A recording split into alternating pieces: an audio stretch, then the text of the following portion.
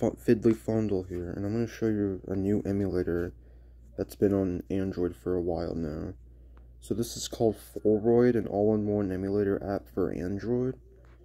So you can mark your favorites here, and you'll be able to find them easier. You can search up your favorite emulators, or search up a ROM file to use as a directory. Here you can view all the systems that you can use so I have Nintendo Entertainment System here. There's one game, The Legend of Zelda for NES. And then here. So everyone, this is the most important thing. When you go to the top where it says ROMs, here, you'll see the directory file. This says The Legend of Zelda, TLOZ for short. So this button right here, you can use it to the one that's highlighted in gray, you can use it to scan for emulator ROMs on your phone or Android device, and it will scan for games that are compatible with this app. So here, you're gonna, you're gonna, everyone, you're gonna need to add a file to a folder and extract it on your Android device to be able to use it. So this, I'm using The Legend of Zelda. We're gonna tap Use this folder, hit Allow and it should automatically add your game to your list. If it didn't, it means you either don't have a compatible game with the app or your phone's out of date or the game or app's out of date. So make sure that's correct. So we're going to do rescan. It won't do anything for me because I already have a directory selected. Here you can do gamepad settings. You can do display filter, change cores, factory reset, BIOS, detect BIOS files or apps that could harm. So, here we're going to play Legend of Zelda, because why not? This is Legend of Zelda. So, this is called Legend of Zelda. You can register your name or eliminate your character. We're going to register. We're going to enter my nickname, which is F I.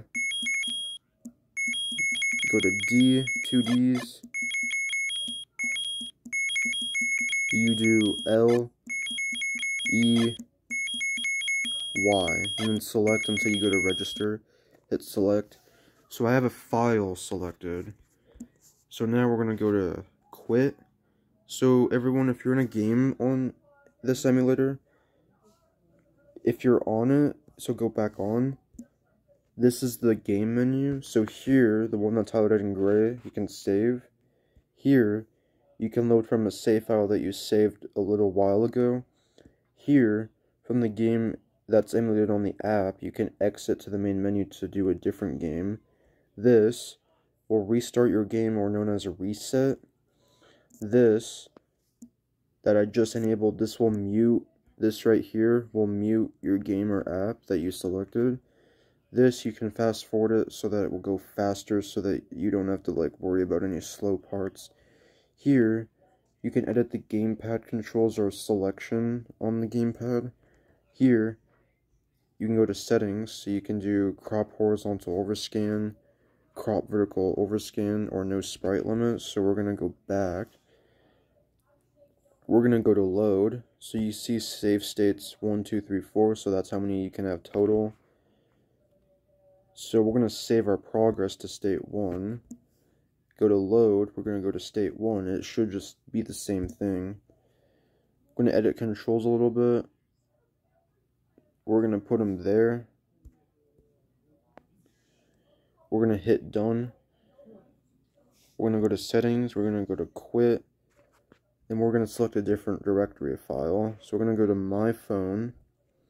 So scroll down until you see a file that says emulators.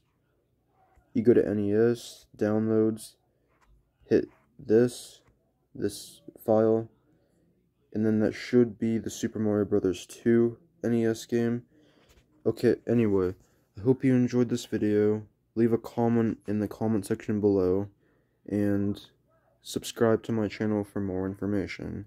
Hope you have a good evening.